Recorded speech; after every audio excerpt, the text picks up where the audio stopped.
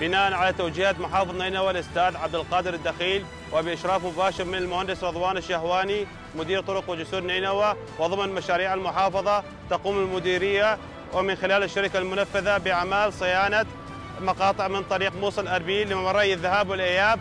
وبعد الانتهاء من أعمال القشط تم اليوم المباشرة بأعمال الإكساء لاستخدام المواد المبلمرة. والعمل يسير بصورة جيدة وضمن المواصفات الهندسية المطلوبة.